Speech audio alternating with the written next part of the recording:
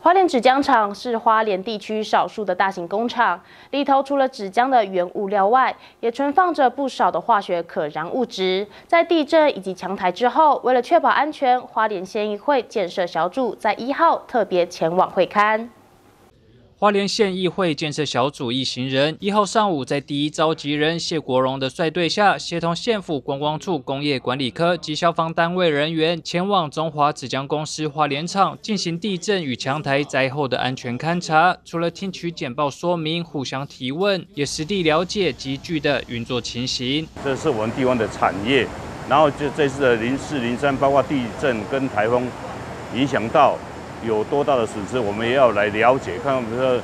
对我们厂里面的花莲县的啊员工也好，我们的老百姓也好，各方面的啊健康问题、安全问题，我们今天特别来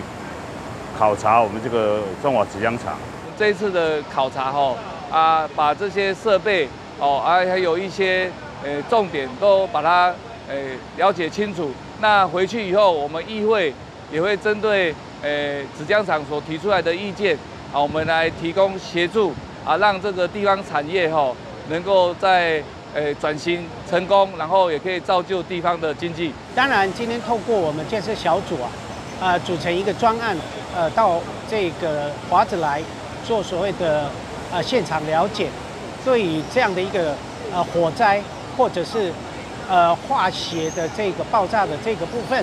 呃他们的呃准备措施跟流程。还有现况的一些成色的这个部分，我们也一并来了解。中华纸浆厂是华莲地区少数的大型工厂，里头除了纸浆的原物料外，也存放着不少化学可燃物质。一行人走访一圈，检视消防设备，一切正常。而华子也表示，未来会朝观光工厂的模式转型，开放民众参观，从源头开始认识造纸流程。记者徐立琴、吉安乡报道。